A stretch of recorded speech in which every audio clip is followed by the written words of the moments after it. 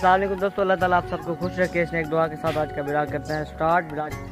दोस्तों, अगर आप हमारे चैनल पे नए हैं तो चैनल को सब्सक्राइब कर दें और बेल के आइकन को प्रेस कर दें, ताकि आने वाली वीडियोस का नोटिफिकेशन आप तक पहुँचता रहे। दोस्तों सुबह सुबह के टाइम है, देखें। हर तरफ़ अब तो धूप निकल आई है थोड़ी थोड़ी देख सकते हैं आप ये सामने मुर्गियाँ बैठी हैं। इस टाइम दोस्तों सुबह सुबह का टाइम है सुबह सुबह का टाइम है। मैं उठा हूँ, क्योंकि रात को मुझे जल्दी नींद आ गई थी तो मैंने सोचा कि आज का ब्लॉग शुरू करते हैं हम। वो सामने देखें दोस्तों, बकरियाँ खड़ी हैं। तो ये देखें, ये सारी नीचे हरियाली है। सबके इधर डिफरेंट कैटेगरीज की मतलब कि सब्ज़ियाँ वगैरह हैं और सामने इधर इस बाग में। तो ये सामने बाग है दोस्तों। देख सकते हैं, सामने सुबह सुबह के टाइम है कज़न मेरा अपने ऊँटों के पास गया हुआ है, आपको ऊँट दिखाते हैं। उम्मीद करता हूँ वीडियो अच्छी लगेगी। हमारे चैनल को सब्सक्राइब कर दें और बेल के आइकन को प्रेस करना मत भूलिएगा ताकि आने वाली वीडियोस का नोटिफिकेशन आप तक पहुँचता रहे। दोस्तों, सुबह सुबह का टाइम है। रात को भी मुझे जल्दी नींद आ गई थी, जिसकी वजह से ना मैं वीडियो एडिट कर सका, ना मैं अपलोड कर सका। तो अब आप देख सकते हैं, सामने ऊँट खड़े हैं। ये देखें, ऊँटों को कहीं ले के जा रहे हैं पानी पिलाने। सामने देख सकते हैं, हमारे विलेज की ब्यूटी है सारी।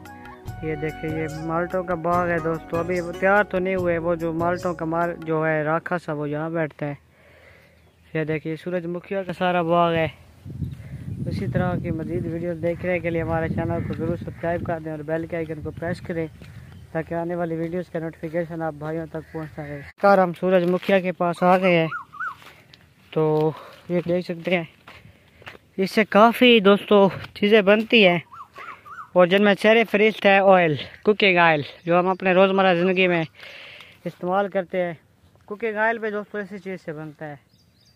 ये मतलब देहातियों की मेहनत होती है और पूरी दुनिया में ये चीज़ इस्तेमाल होती है। कुकिंग ऑयल जो हम घरों में कुकिंग के लिए इस्तेमाल करते हैं, ये है वो चीज़।